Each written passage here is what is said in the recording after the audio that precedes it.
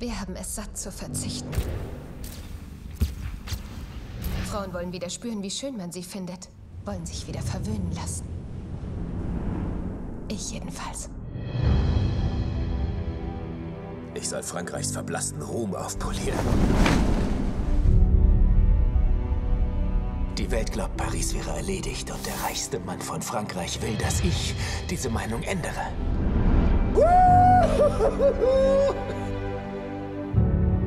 Sollte dein Bruder denn nicht davon wissen? Claude und ich haben eine Abmachung. Das richtige Kleid kann die Person verwandeln, die es trägt.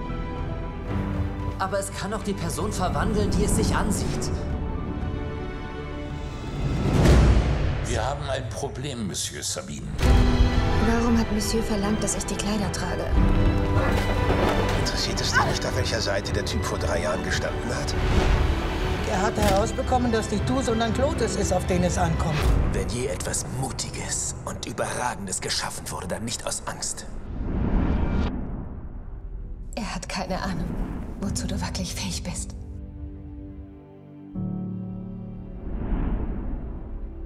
Alles, was ich tue, ist für die Familie.